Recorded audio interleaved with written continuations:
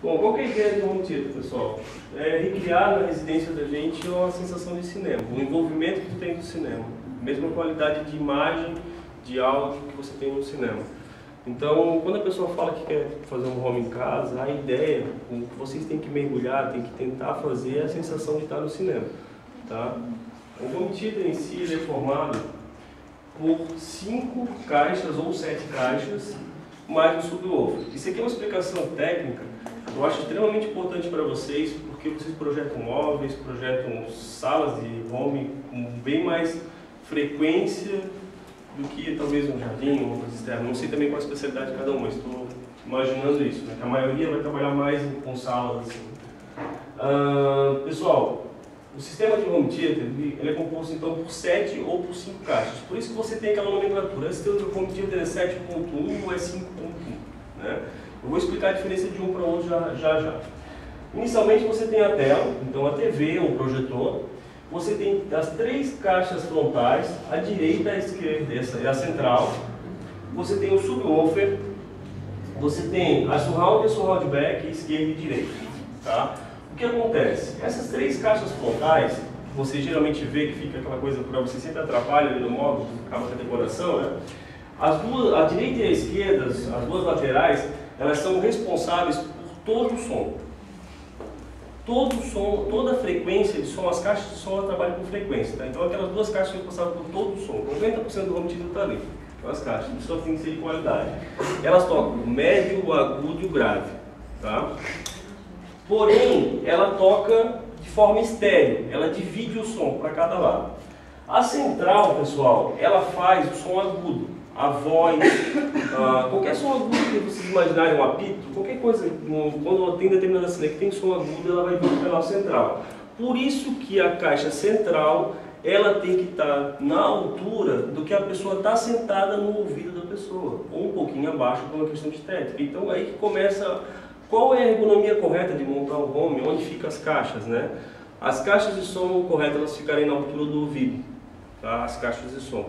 A central também, na altura do ouvido na sua frente. Então a caixa central tem que estar centralizada com a TV. Por exemplo, eu tenho essa TV aqui.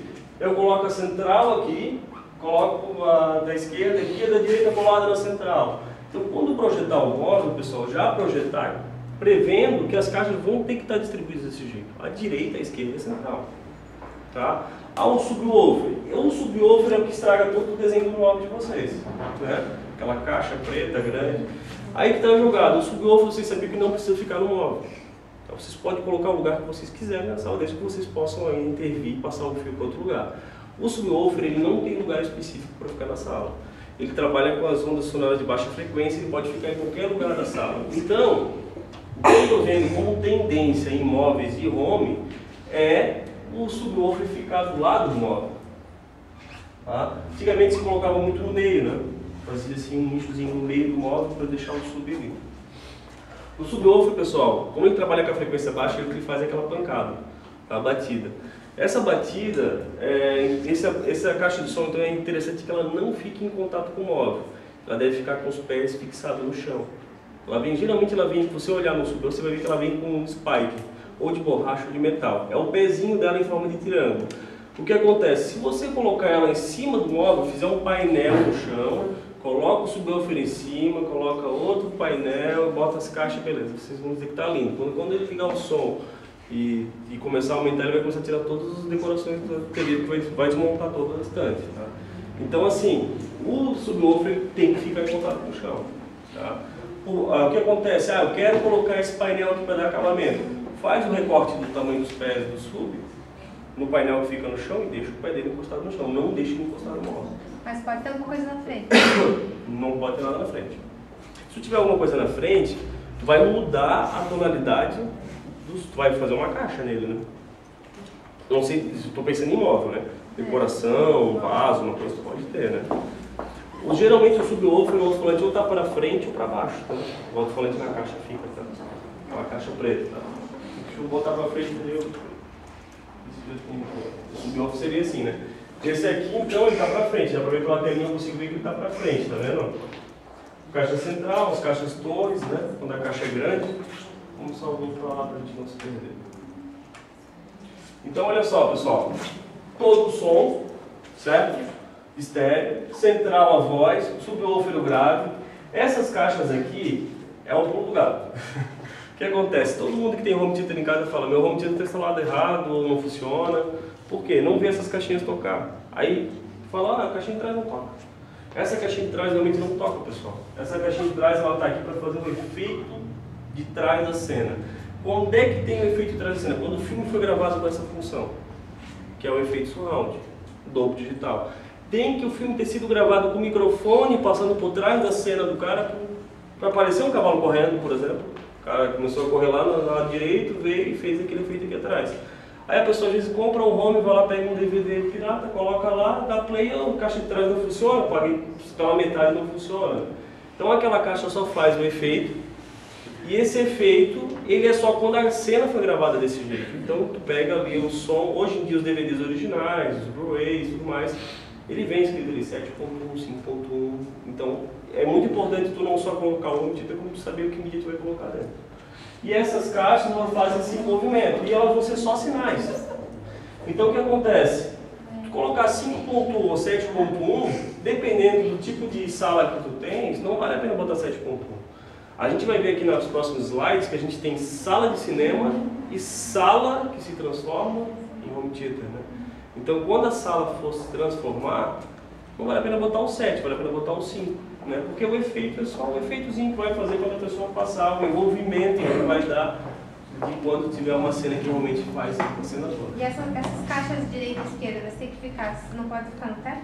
Essas de trás pode ficar no teto, como são as fotinhas. Ah, as da frente também, a gente tem feito muito agora, as três caixas frontais, no teto, as cinco caixas, ou as sete caixas no teto.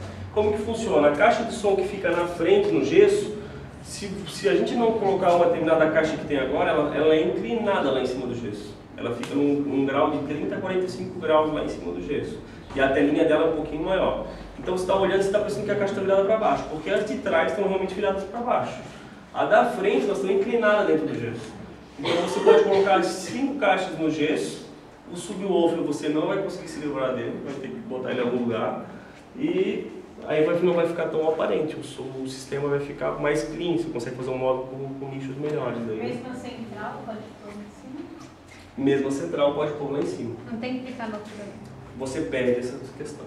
Você pode fazer isso, pode, mas você não vai, não vai conseguir convencer uma pessoa que gosta de qualidade de som tá? Você não vai conseguir fazer uma pessoa que já tem um home há dois, três anos, já está no seu segundo home, terceiro home, gosta de comprar uma caixa com a B ou C a fazer isso. O cliente, se tu vê o cara fala assim, ah não, porque eu quero colocar um home, eu quero a marca A, B, C, D, C, nem tenta fazer isso, porque ele vai dizer não, quero a caixa A, B, C, entendeu? Agora se o cliente, aquele cliente chega para ti e fala assim, ah, eu quero home, mas eu queria botar uma coisa boa, mas eu não quero nem ver. Então aí você vai para esse cliente. Né? Aí o que acontece? Cai nessa questão que eu vou passar agora, que é a sala de cinema. Qual? Pessoal, ali, se vocês repararem, o melhor lugar da sala seria no, no meio da poltrona, né? Por quê? Porque todas as caixas estão configuradas para aquela posição. Então, eu vou ter um palco sonoro exatamente naquela posição. Qualquer coisa fora dali, eu vou ter um palco sonoro, mas menos intenso. O que seria o palco sonoro? Você sentar naquela posição, ouvir um, uma orquestra, fechar os olhos e saber, ó, tem alguém com um bumbo aqui, tem um cara com uma flauta naquele lado ali. Sem estar tá vendo nada, você consegue saber onde está cada instrumento na sua frente. Por isso que o efeito dessas caixas, quando é torre ou shelf, é melhor. Quando você joga ela para o teto, você vai reduzir ainda mais esse efeito. Porque, ah, você vai lá fazer uma configuração, senta um técnico ali e fica ali uma hora mexendo na caixa de som. Cara, pô, o cara tá lá enrolando, né? Não, ele tá lá tentando achar uma posição correta no ângulo da pessoa que está ali sentada. Aí geralmente vem a pregada, limpa ali, vira pro lado e alinha tudo dela. Aí o cara. É, resumindo, resumindo, se fizer a caixa no teto, o cara vai pensar que o bumbo está no segundo andar, né? O cara com o bumbo está no segundo andar, o que a flauta está na, na, varanda. Né? Então é só esse cuidado aí que é, é importante para quem realmente gosta de som, que é um aficionado. Ah, não, você vai na casa da pessoa tem um monte de disco vinil. Não, eu não gosto desse, eu gosto desse som aqui. Aí o equipamento dele já é específico para proporcionar esse tipo de som. Não precisa nem ter as caixas atrás, para ele só as da frente já resolve. Mas por quê? Porque ele consegue sentar na posição dele, fechar o olho e curtir o som que está tá tendo na sua volta.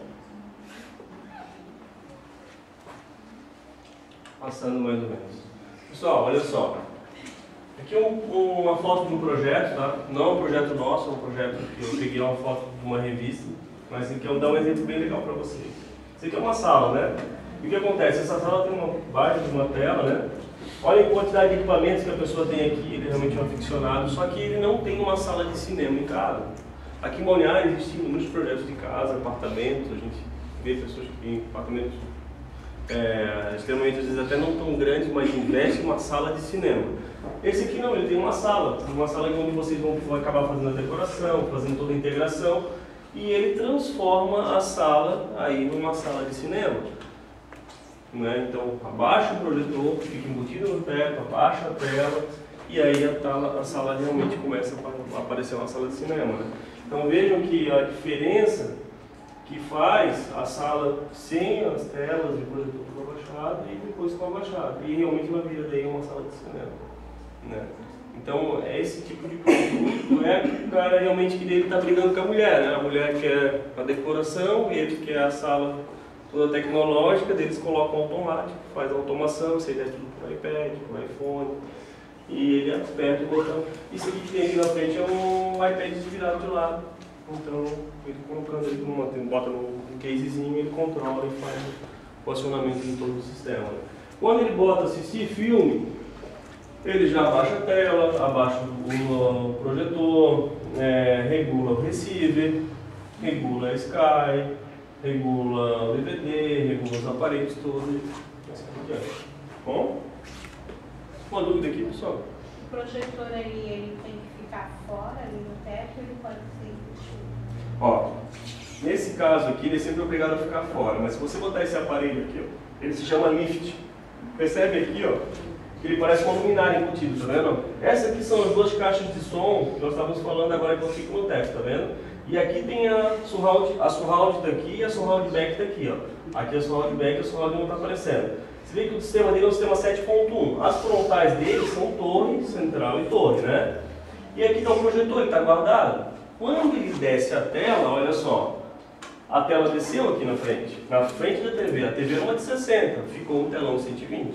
Tá? E o projetor saiu do gesso.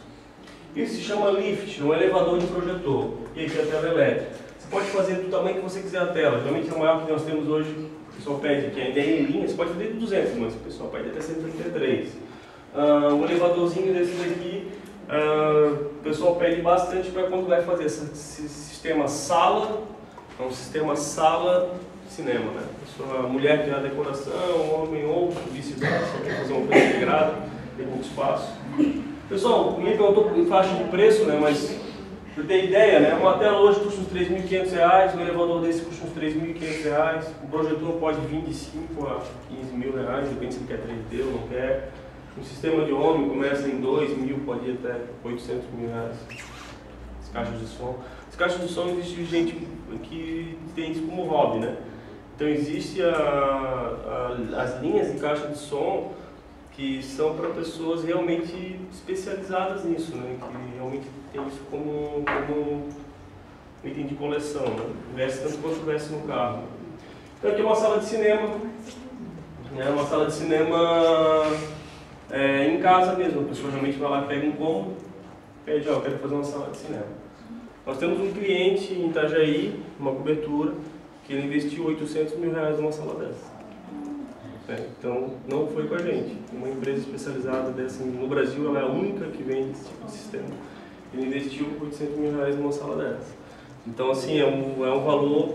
E, e assim, para ajudar, a sala dele só tinha duas poltronas, né? Então, assim, ele fez, ele fez bem exclusivo para ele mesmo, para ele e o convidado. Assim. Então, aí cai toda a questão de ter a tela elétrica, né? Nessa sala, a pessoa fala assim, ó, mano, por favor, quero fazer um projeto contigo, quero fazer uma sala de cinema. Sai da cabeça a ideia de fazer a tela descer. Por quê? Porque a sala está proposta para isso. Faz a tela fixa, bota os, tira os aparelhos da frente, porque no cinema não fica aparelho nenhum aparente. faz a questão do conforto mesmo, instala um bom sistema de som, faz a preocupação com a acústica. Essa madeira está no teto não é por uma questão estética, por uma questão de acústica. A parede tem um revestimento diferente também para absorver som. Então, quando entrar num projeto de sala de cinema, fala, não, então peraí, vamos fazer que, que, uma coisa sala, melhor. por que, que na sala de cinema não precisa ficar a caixa na frente, né? Na verdade, assim, ó, se, é, se for ver, as caixas estão aqui, não está Ah, aparecendo moto. Tá? Mas elas precisam ficar na frente sim, tá? Tá. Na sala de cinema, tu não vai pecar de botar no teto. A gente, quando vai no cinema lá, por exemplo, no cinema de Balneário, a gente não vê as caixas de som com a parede preta ali. Uma tela lá. As do lado a gente consegue ver, as real e lado B. A boa pergunta, quando tu vai no cinema, é, o sistema é 5.1, tá? E tu vê quatro caixas do lado direito e quatro caixas do lado esquerdo. E aí tu vai dizer, ah, o Luiz mentiu. Tem, o sistema do cinema é 10.1, por exemplo. Tem sistemas de até 11.2, pessoal. Dois subs e 11 caixas. Tem sistemas desses. No cinema não usa isso. Usa o 5.1, só que as, digamos, as três últimas caixas tocam a mesma coisa, estão no mesmo canal. Tá? Então, na verdade, é 5.1 também. Então, exemplos que são caixas todas, como estava naquele projeto ali, caixa central, subwoofer, são caixas que hoje custam uma caixa toda assim, mais elaborada, a partir de R$ 1.500 o par, até 10 mil reais o par, uma coisa, hoje uma, uma ideia mais comercial, assim, né? a pessoa vai gastar uns 5, 6 mil reais no home theater começando, uma linha de entrada com todas as caixas, até uns 20 mil reais. Um produto que hoje é mais comercializado, é uma linha mais... A pessoa que sai a pessoa que sai do varejo, da, dali da, da, da Casas Bahia, das lojas de varejo, e vai para um home theater projetado, ela vai para essa faixa de preço, de 6 mil a 20 mil reais. E, e completo, com tela. Aí ela vai ter o preço do projetor, que é uma variável, né? Pode botar um projetor de, de 5 ou de 15. Então aí a pessoa quer 3D, quer é, 12 mil, quer Full HD, com claridade ou sem claridade, então ela vai aumentando essa variável, mas, mas digamos mais de 10 mil reais para fazer uma solução econômica, 30 mil sala completa com uma qualidade de som excelente, qualidade de vida excelente. Ah, quero 3D, vai ter mais uma fatia, o projetor tem que ter essa característica. Tá? Bom, sonorização ambiente, pessoal. Criar um ambiente harmônico onde as pessoas individualmente ou coletivamente é, convivam com conforto sonoro.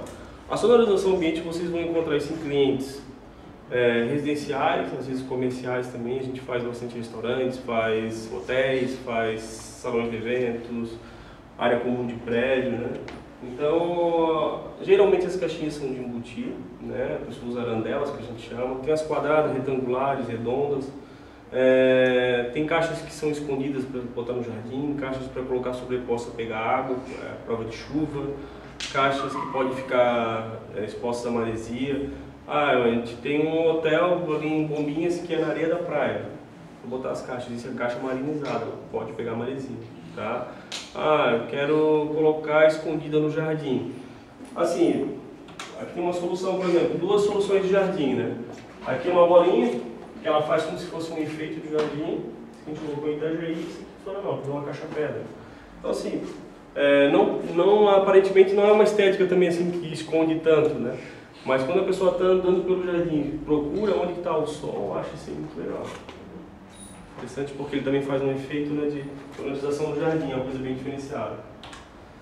E agora vamos cair um pouquinho em projeto de infraestrutura. Pessoal, estou pincelando um pouquinho cada coisa, depois vamos para as fotos e, e tirando dúvidas. Né? Bom, esse aqui é um exemplo de um projeto, peguei um, um projeto modelo que a gente geralmente conversa com o cliente. Esse aqui é um projeto que a gente pega ó, um apartamento de um determinado cliente, a gente vai fazer um projeto, é esse que a gente vai fazer. Esse projeto é um projeto complementar ao elétrico. A pessoa tem um elétrico, tem um luminotécnico, tem um de vocês, de layout, de design de interiores. E tem o nosso, que são as tubulações e pontos que nós temos que deixar para que todos esses sistemas que vocês viram têm que ser contemplados. Né? Então tem o sistema de segurança. Ó, eu vou fazer o seguinte, eu acho que eu tenho mais uma slide aqui. Vou atrapalhar com essa projeção. Olha só, pessoal, então olha aqui. Na entrada do apartamento, coloco um, um ponto de câmera, um controle de acesso, que aí pode ser aquela biometria que eu falei, que a pessoa entra com o dedo e faz uma coisa, outra outra. Tudo isso liga numa central, pode ter um teclado logo na entrada que ela entra faz uma senha, bota um, um botão de saída, bota alguma coisa diferenciada. Então ela entra no apartamento, tem um teclado, interliga tudo numa central. Tá? Mesma coisa a parte de som. Aqui eu tenho uma caixinha na parede, tá? que ela está a uma altura de 30 centímetros, ela tem uma tubulação que sobe, deixa a espera para a tela elétrica, para o projetor elétrico, para o lift, é aquele elevadorzinho que vocês viram, as caixas de som que ficam no teto, você tem a espera, a interligação disso com os outros ambientes, né? Ah, o cara, no briefing que é feito com o cliente, ele diz, ah, eu não quero só ambiente no quarto dos meus filhos, eu quero só no suíte principal e depois. Então, já não vai ter aquela tubulação, né? Aqui essa parte verde é um exemplo de tubulação de aspiração, que ela percorre pelo teto e ela desce na parede nesses pontos. Nesse apartamento, por exemplo, foi projetado é, um ponto de aspiração aqui nessa, nessa parede logo na sala, ela alcança toda essa área, e um ponto aqui entre os quartos que alcança toda essa área. Tá? Aqui ó, vai ter um móvel na cozinha, essa aqui é a cozinha dele, e vai ter um móvel, e nesse móvel a gente deixou a espera para bate-pano, aquela que bate com o pé que nossa amiga falou que jogou no, no, no cabeleireiro. Né? Então, é, vocês veem que o projeto é feito dessa forma, uma forma, tem uma legenda, que daí ele recebe o projeto inteiro, com a planta, com a legenda, e ele pode se, se orientar. Mas a ideia do projeto é mais ou menos essa. É isso que, na verdade, é interessante o cliente que está construindo, que vocês estão acompanhando a obra na fase da construção ainda, ele preveja. Tá? Isso que estava conversando eu com o professor antes de a gente entrar aqui na palestra, que a automação, ela ah, ela não é uma necessidade ainda, ela é um luxo, digamos. Pensando por esse ponto de vista aqui, pessoal, pensando por infraestrutura, ela é uma necessidade. Né? A gente tem que pensar nas construções hoje, não no dia de hoje, tem que pensar nessas construções daqui a 10 anos.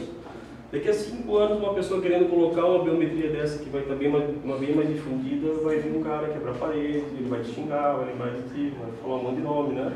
E se não te ligar, não falar um monte de desaforo. Ah, um monte de elogio. Por que, que não deixou uma tubulação aqui, né? Então, assim, isso aqui, pessoal, a infraestrutura já não é mais comodidade, já é necessidade. Porque a gente não sabe quantos anos aquela pessoa vai morar ali, não sabe para quem ela vai vender não sabe se o custo dela pode mudar, se o filho dela pode querer instalar tal coisa, se pode querer instalar só um quarto ou não. Tá? Aqui, por exemplo, contempla até uma coisa que hoje em dia o pessoal faz bastante, que é puxar o ponto que está passando na sala, no quarto. O gato. Né? O cara está tá vendo a Sky na sala, quer puxar o fio para o quarto. Então quer botar a mesma imagem, está fazendo uma festa, quer ficar com a mesma imagem. Então a gente pensa em todos os problemas e deixa a infraestrutura para tudo. É claro que esse daqui é um projeto simples colocado para determinada pessoa. É feito um briefing com a pessoa, analisado tudo que ela gosta e é feito daí a proposta para ela. Né? De repente é uma pessoa que dá festa, a gente bota um ponto de TV aqui na sacada, é, faz uma coisa diferenciada, persianas, né, automatizadas. Ele deixou uma coisa bem, bem simples. Uma dúvida aqui, pessoal. Quem tem algum projeto, alguma coisa? Ah, o projeto. Vocês têm bastante contato com plantas assim, com parte elétrica, se chegaram a ter alguma, um contato com planta assim, com tubulação elétrica? Não conheço a grade de vocês. Chegaram a ter alguma coisa assim, com tubulação assim? Com os conduítes desenhados assim numa planta? Já, né? Vocês entendem o que eu estou falando aqui? Não estou falando. Isso aqui são tubulações, tá pessoal? Que está correndo no teto. Estou falando, esqueci de comentar, né? Que são caixinhas podem ser baixas, altas, não está não tá especificado, é só um exemplo de projeto.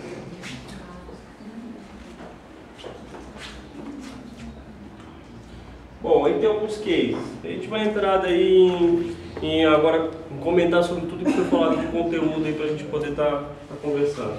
Isso aqui é um apartamento decorado do prédio Garden Glass do edifício Venturim. Isso aqui foi feito uma sala, ela também tem toda automatizada, desce, liga tudo interligado. É, esse apartamento aqui eu botei ele como case porque tem uma particularidade. A construtora chamou a gente e falou, olha, eu quero fazer um apartamento decorado, mas eu quero que ele venda para a gente o prédio. Quero que quando, vende, quando o corretor chegue no apartamento, isso, claro, depois que o pessoal foi morar ali, ele vendeu esse apartamento que ele já vendeu, então não, eu quero que quando o vendedor entre, ele entre e aperte o setup. O setup, o que, que é? O vendedor começa a apresentar o apartamento, o comprador e o apartamento começa a fazer a apresentação. Liga o som, liga a TV, baixa a persiana, muda a iluminação e o corretor vai falando. Então ele tem um minuto de setup de determinadas coisas que a gente criou. Ele treinou aquilo e usa aquilo como apresentação. Tá? A outra coisa, ele falou, cara, tá excelente, a gente manda a mulher limpar lá, você regula tudo. Ela aperta lá, quando ela sai, ela aperta três vezes para desligar e chega lá e toda hora ela sempre volta lá. O que acontece? O corretor, quando sai e vai ter limpeza, a gente colocou um controle remoto que tem um botão vermelho e um verde. Quando ele aperta o vermelho, todas as teclas viram só iluminação. Tá? E quando ele coloca o verde, ele está funcionando nesse modo nesse caso. Então esse apartamento foi foi um sucesso nessa parte de automação. Ele tinha o iPad, o, toda a integração feita, né? Então cai nesse ponto que eu falei para vocês. Ele ainda conseguiu utilizar comercialmente também essa implementação. Tá? Hum, aqui, ó. Tá cortado aqui, tá? O painel aqui embaixo do sub aqui, tá? Parece o sub dentro do móvel ali, né? Vamos lá.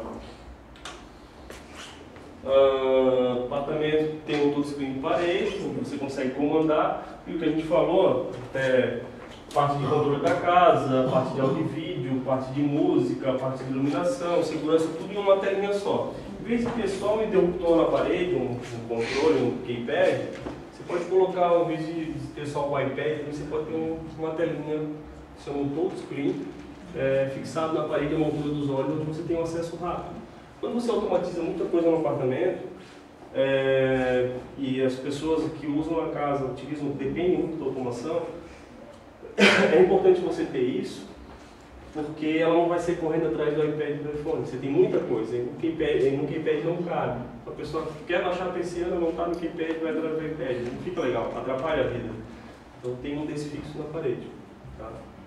A solução que também foi feita nesse apartamento que é legal, volta ali. Estão vendo essas persianas aqui? A gente tem folha aqui dessa forma e folha dessa forma aqui. Essas, essa programação foi feita para conforme o sol bate em determinado horário, a persiana baixa automática. Então a persiana ela, ela cuida para que o móvel não desgaste. Né? Então é, fica uma programação que determina a hora do dia, ela abre e deixa entrar qualidade no apartamento. E em determinado horário ela está protegendo o móvel porque o sol está batendo direto. Sabe? Isso aqui é um hall de entrada de prédio, onde a gente faz todo o prédio automatizado. Isso que a gente falou aqui, pessoal, a gente tem feito aqui em Balneário alguns prédios, prédio todo inteligente. No hall de entrada tem um computador que controla tudo. Iluminação, ar-condicionado, sala de cinema, entradas e saídas de cada porta, quem entrou, quem saiu, que tipo de digital que entrou, que tipo de senha que entrou. Então esse aqui é um quadro, um armário, onde fica todos os módulos, então, são várias portas, aqui fica os sistemas de câmeras, fica, a gente fez um móvel para fazer um projeto bem integrado bem sou mais predial, né? Isso aqui é alugado em casa também, isso aqui é a sala de cinema que a gente fez pro prédio, tá? Então a sala de cinema ficou espetacular. Assim. As caixas surround a gente fez uma questão igual do cinema bem duplicou, não ficou 7.1, ficou 9 caixas, mais duas tocam no mesmo canal. É, ficou uma coisa bem interessante. Olha só isso aqui. Quando você entra nessa sala de cinema, nessa no Garden Plaza, você tem um botão assistir filme. Ele liga o projetor, TV, é, projetor, receiver, DVD, abre a cortina, atrás dessa tela tem uma, atrás dessa cortina tem uma tela, abre a cortina, a iluminação fica desse jeito que vocês estão vendo, depois de 30 segundos ela deixa só as indiretas, depois de um minuto ela deixa só os andadores no chão, 5 minutos ela apaga totalmente. Tá? Então tem uma cena assistir filme, a pessoa sentar, se acomodar, pegar pipoca, fazer isso, fazer aquilo, depois vai baixando, baixando a tela. Tá? Tem um negócio legal para falar para vocês aqui que foi colocado lá, que não tem nada a ver com a gente, que eu acho espetáculo, eu faço muita propaganda desse cara aqui, são esses painéis de placas sonoras aqui. Não sei se alguém, algum cliente de vocês já pediram ou vão pedir. Foi aplicado lá no teto um material de acústica, são as placas sonoras em salas de cinema, em salas de de aula, de palestra, não tem reverberação, é bem legal isso aqui, tá? De pedir algum tipo de coisa, se você quiser mandar um e-mail, eu passo o contato do cara aqui. Isso aí. Elas ficam aparentes, né? Ficam.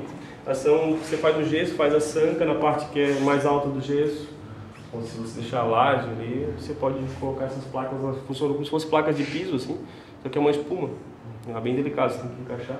Quando a gente está conversando nesse ambiente, parece que você realmente está conversando num lugar acusticamente confortável, assim. Escuta a tua voz sem ela reverberar, fica, é impressionante. Quem vai no ambiente fala, nossa, o que, que tem essa sala? Assim? Parece que a sala tem uma temperatura, parece que tem um cheiro, tem uma coisa diferente, não, um som. Bem interessante, tá?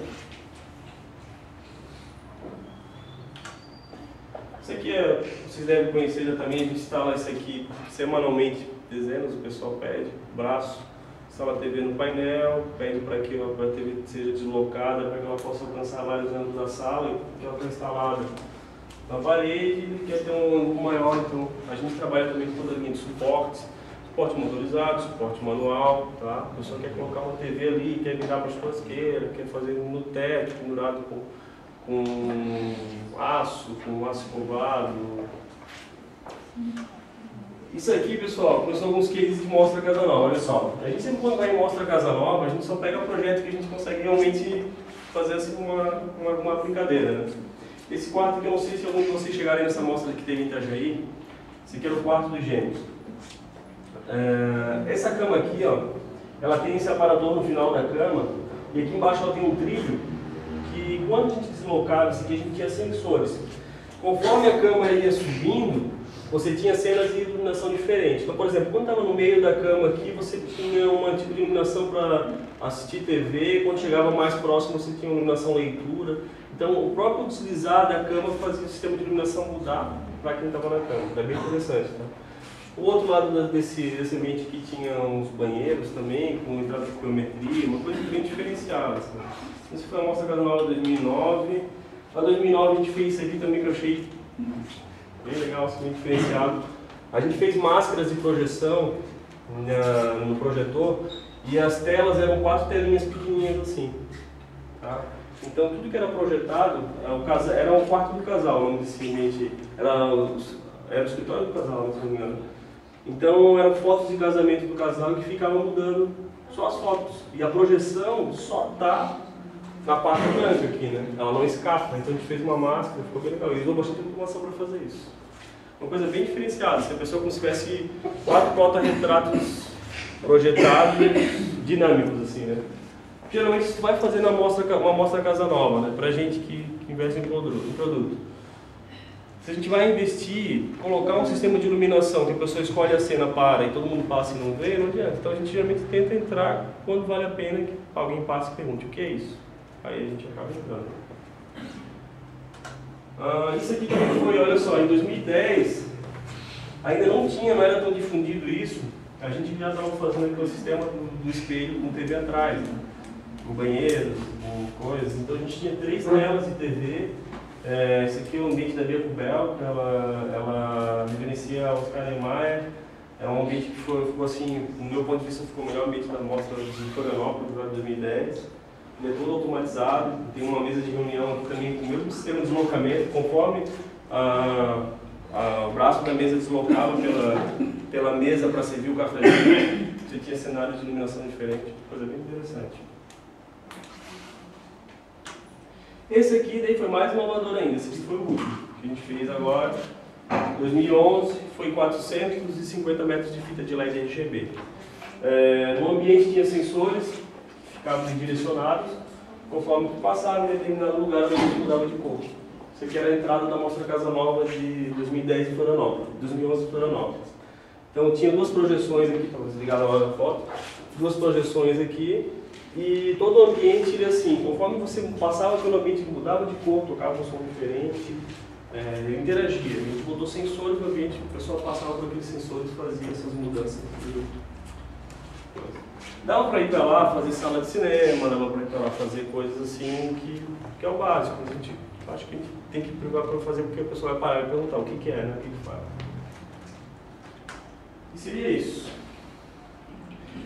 Bom, aberta perguntas, pessoal, quem quiser alguma dúvida, não sei se for falando, falando, falando, falando, não perguntando mais nada. Se alguma dúvida? Tá bom, vou deixar com vocês um panfletinho da empresa, um convite para vocês fazerem uma visita. Eu acho que vocês estão quase tudo unidos.